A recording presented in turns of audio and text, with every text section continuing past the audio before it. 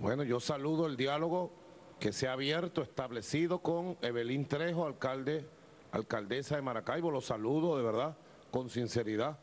Y le mando un mensaje, eh, doña Evelyn, alcaldesa, vamos a trabajar. A usted le quedan cuatro años de trabajo. Yo voy a ser presidente esos cuatro años completos. Vamos a llevárnoslas bien, vamos a trabajar por la comunidad, por Maracaibo. Miren, doña Belín, ese grupitos no da fruto, para decirlo suavecito. Pues. Mire, esos grupitos que salen a quemar y a destruir ahí, doña Evelyn, no le va a dar ni un voto más a usted. Lo que le puede es quitar votos y apoyo, como dicen las encuestas. No.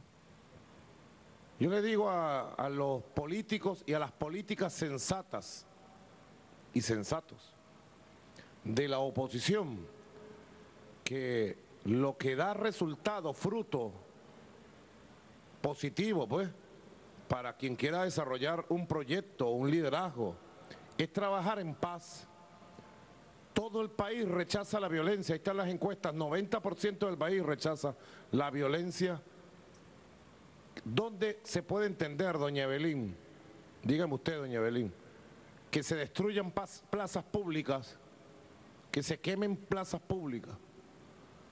¿Quién puede entender que hayan quemado 15 universidades, que hayan quemado el núcleo del UNEFA completico en San Cristóbal?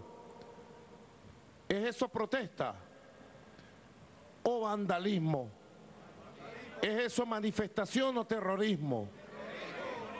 ¿Quién puede entender que hayan destrozado 95 unidades de Metrobús como estas que estamos entregándole a todo el país?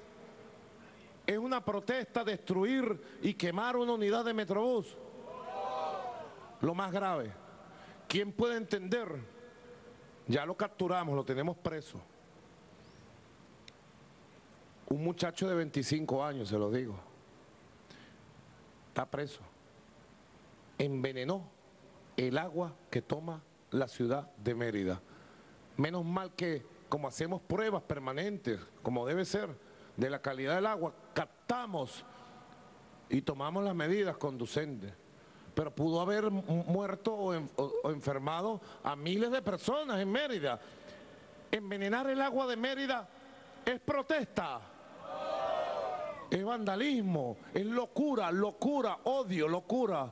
Locura, es locura. Otra cosa, ¿quién puede entender? ¿Qué gana? Me dice Potro Álvarez.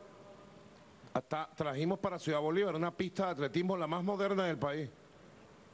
Y un día la quemaron se quedó sin pista de atletismo Bolívar por ahora, porque ya probé los recursos y vamos a instalar la pista de atletismo de Bolívar, completica, moderna, nuevecita, nuevecita, moderna. No puedan poder con nosotros, no van a poder.